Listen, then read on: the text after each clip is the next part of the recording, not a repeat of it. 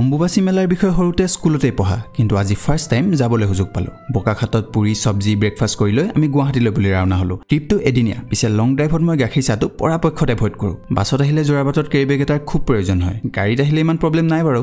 ঘৰতে মন বনাই আহিছিলোঁ যে গুৱাহাটীৰ ইনফেমাছ ট্ৰেফিক জামটো আজি এনজয় কৰিম বুলি।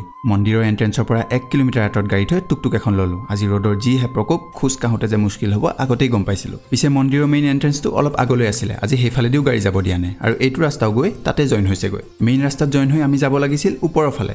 ময়ো অন্যমনস্ক হৈ গুচি গ'লোঁ তলৰ ফালে আৰু এক কিলোমিটাৰমান পাছত মেইন গেটখনত থেংক ইউ বুলি দেখিহে হোচটো আহিল। মনতে দেৱী মায়ে এই প্ৰখৰ ৰ'দতো আমাৰ পৰীক্ষা লৈছে বুলি ভাবি আকৌ ওপৰলৈ বুলি খোজ দিলোঁ। আমি পাঁচজনৰ দলটোত তিনিজনহে মন্দিৰলৈকে যোৱাত সক্ষম হ'লোঁ। যিজনে যোৱাৰ প্লেন বনাইছিল তেওঁৱেই মূৰ ঘূৰোৱাৰ বাবে যাব নোৱাৰিলে আৰু লগত এজন ৰৈ দিবলগীয়া হ'ল। তলৰ পৰা মন্দিৰলৈকে খোজকাঢ়ি যাবলৈ তিনি ঘণ্টাৰ ওপৰত সময় লাগিল। মন্দিৰৰ ভিতৰতো অভাৰ ক্ৰাউডেড যাতে হৈ নাযায় তাৰ বাবে ৰাস্তাতে কেইবা ঠাইতো বেৰিকেড লগাই ভক্তসকলক ৰখাই থৈছিল। মই অলপ সময়ৰ বাবে আগবাঢ়িব নোৱাৰিম বুলিয়ে ভাবিছিলোঁ। কিন্তু মনত অলপ সাহস গোটাই আৰু আপোনালোকৰ কথা ভাবি মই আকৌ খোজ দিলোঁ। আৰু ফাইনেলি তিনি ঘণ্টাৰ মূৰত আমি মন্দিৰৰ প্ৰান্তত ভৰি দিলোঁগৈ। জনবিশ্বাস মতে আহাৰ মাহত মা ধৰিত্ৰী ঋতুমতী হয় আৰু সেই সময়তে হিন্দুসকলে অম্বুবাচী মেলা সমগ্ৰ উত্তৰ পূব ভাৰততেই পালন কৰে। দেশ বিদেশৰ বিভিন্ন প্ৰান্তৰ পৰা অহা লাখ লাখ ভক্তই তিনিদিন কামাখ্যা মন্দিৰৰ চৌপাশে থাকি নাম কীৰ্তন কৰে। প্ৰথম তিনিদিন চোৱা আৰু চতুৰ্থ দিনাটো শুদ্ধি বুলি কোৱা হয়। অম্বুবাচীৰ সময়ছোৱাত হাল বোৱা আৰু কোনো ধৰণৰ মাংগলিক কাৰ্য সম্পন্ন কৰা নহয়।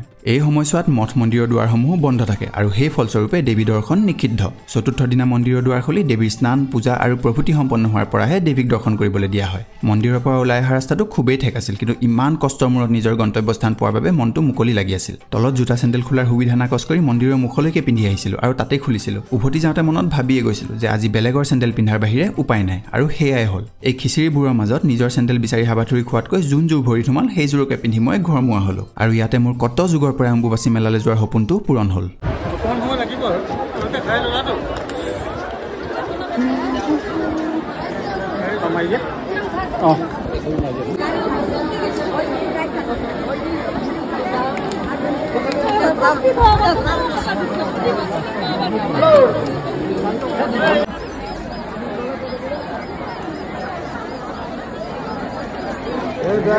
লাইন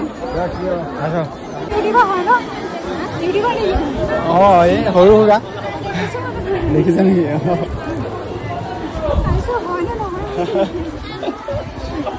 ইয়াৰটো চাবা তেতিয়াহ'লে ভিডিঅ' ইয়াৰ ভিডিঅ'টো চাবা।